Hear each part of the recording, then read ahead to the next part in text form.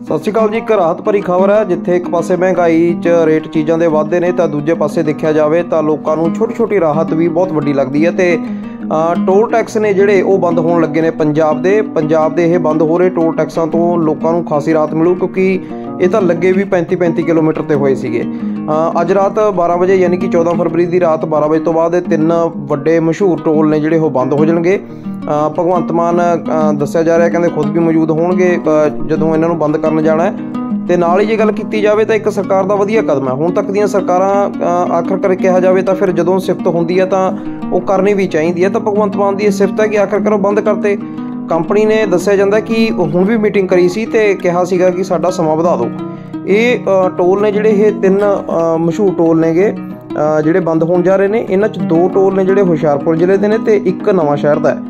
PWD department ਦੇ ਵੱਲੋਂ ਵੀ ਇਸ ਚੀਜ਼ ਦੀ ਪੁਸ਼ਟੀ ਹੋ ਚੁੱਕੀ ਹੈ ਤੇ ਜਿਹੜੀ ਜਾਣਕਾਰੀ ਮਿ- ਮਿਲੀ ਆ ਉਹਦੇ ਮੁਤਾਬਕ ਇਹ ਹੈ ਕਿ ਟੋਲ ਪਲਾਜ਼ਾ ਕ- ਇੱਕੋ ਹੀ ਕੰਪਨੀ ਦੇ ਸੀਗੇ ਇਹ, ਜਿਹੜੇ ਤਿੰਨੇ ਟੋਲ ਨੇ। ਸੋਮਵਾਰ ਦੁਪਹਿਰੇ ਟੋਲ ਪਲਾਜ਼ਾ ਕੰਪਨੀ ਦੇ ਅਫਸਰਾਂ ਨੇ ਜਿਹੜੀ ਪੰਜਾਬ ਸਰਕਾਰ ਦੇ ਨਾਲ ਮੀਟਿੰਗ ਵੀ ਕੀਤੀ।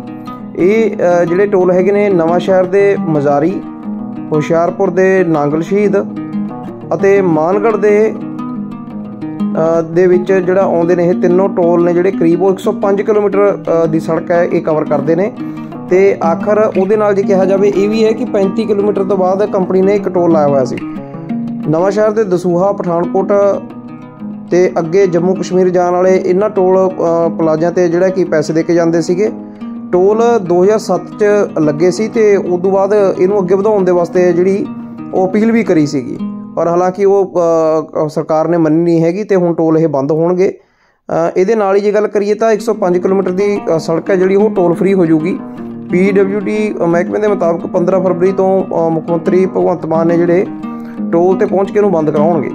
ਤੇ ਇਹਨੂੰ ਵੱਧ ਤੋਂ ਵੱਧ ਸ਼ੇਅਰ ਕਰਿਓ ਤਾਂ ਕਿ ਬਾਕੀ ਲੋਕਾਂ ਨੂੰ ਪਤਾ ਲੱਗ ਜੇ ਭਾਈ ਹੁਣ ਉਧਰ ਦੀ ਕਿਉਂਕਿ ਆਸੇ-ਪਾਸੇ ਲੋਕ ਕਈ ਵਾਰ ਵਿਚਾਰੇ ਟੋਲ ਬਚਾਉਣ ਦੇ ਮਾਰੇ ਆਸੇ-ਪਾਸੇ ਦੀ ਬਾਈਪਾਸ ਕਰਕੇ ਕਈ ਵਾਰ ਜਾਣ ਦੀ ਕੋਸ਼ਿਸ਼ ਕਰਦੇ ਨੇ। ਖੈਰ, ਉੱਥੇ ਕਈ ਵਾਰ ਜੋਖਮ ਵੀ ਹੁੰਦਾ ਕਿਉਂਕਿ ਟੋਲ ਪਲਾਜ਼ਾ ਕੰਪਨੀਆਂ ਦਾ ਅਸੀਂ ਦੇਖਿਆ ਕਿ ਆਸੇ-ਪਾਸੇ ਵੀ ਇਹਨਾਂ ਦੀ ਨਿਗਾਹ ਰਹਿੰਦੀ ਹੈ ਤੇ ਉਸ ਥਾਵਾਂ ਨੂੰ ਉਹਨਾਂ ਬਿਹਤਰ ਕਹਿੰਦੇ ਨੇ ਲੋਕ, ਖੈਰ।